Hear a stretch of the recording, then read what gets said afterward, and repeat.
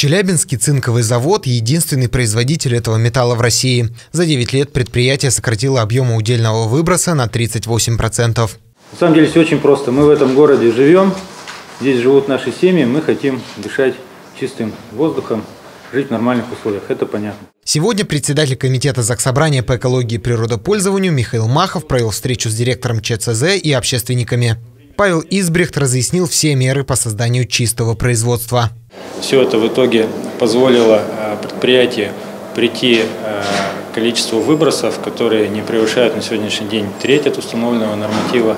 Э, затрачено на это было порядка 4 миллиардов рублей. Тем не менее, мы не собираемся останавливаться на достигнутом. К 2024 году планируется вложить еще столько же. Тогда общее количество выбросов от завода должно снизиться как минимум на 70%. Э, представители завода организовали нам хорошую возможность для того, чтобы мы э, могли своими глазами посмотреть, что э, делается на предприятии для того, чтобы улучшить экологическую ситуацию. Были представлены очень хорошие примеры природоохранных мероприятий, как с точки зрения защиты окружающего воздуха, сокращения влияния на окружающий воздух, а также отличное мероприятие, которое позволит исключить полностью сбросы воды в источники, нашу, нашу реку Миас, полностью к 2024 году. В планах строительство локальных очистных сооружений и складов концентратов. Впрочем, результат большой работы виден уже сегодня. Допустимый показатель выбросов э, от 0,207% до 0,024%.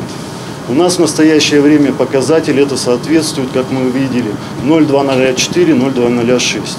Поэтому мы с уверенностью можем сказать, что мы работаем на уровне европейских доступных технологий. Ну а где-то в каких-то моментах даже и лучше. И можно уже смело констатировать, по сути, факт того, что цинковый завод стал, является одним из передовиков улучшений, одним из э, выдающихся примеров проведения реконструкции, э, соответственно, снижения объема выбросов, состава выбрасываемых веществ. Для контроля за состоянием воздуха цинковый завод приобрел передвижную лабораторию экологического мониторинга, а также три стационарных поста наблюдения. Все это позволяет оперативно реагировать на превышение уровня загрязнений. Иван Наконечный, Илья Капелин, Урал-1.